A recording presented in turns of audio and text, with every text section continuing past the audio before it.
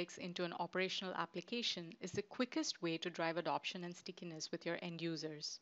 Instead of simply embedding a full analytic application in your host application, if you would like to build a more tightly integrated experience for your end user, like adding filters and executing other commands from the host app directly, then the Embed SDK is the way to go.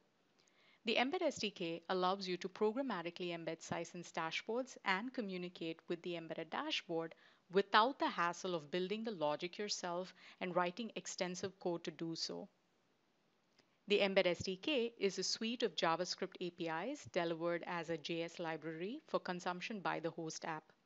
As an abstracted embedded interface that wraps an iframe, it comes packed with features to programmatically render a Sisense iframe element or hook to an existing one, subscribe to various events that are fired within Sisense, execute commands like adding or removing filters or exporting dashboards, and get information from the embedded app like user or dashboard info.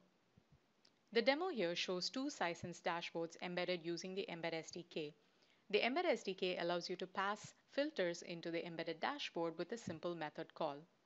For example, the filters here are leveraging the Embed SDK to pass in values into the embedded dashboard. You can also see the option to execute the export action from outside the embedded dashboard or control the panels again from outside the embedded dashboard. In addition, the Embed SDK provides methods to listen to a number of events fired within the embedded app, like Sisense app loaded or dashboard loaded and unloaded, as well as retrieve information from the embedded app, like user info and dashboard information. These events will allow you to integrate Sisense into your application's workflow and processes. Ultimately, the Embed SDK will allow you to focus on higher value tasks of building tailor made analytic apps instead of spending the time and effort in building boilerplate code, complicated communication logic, or other integration details.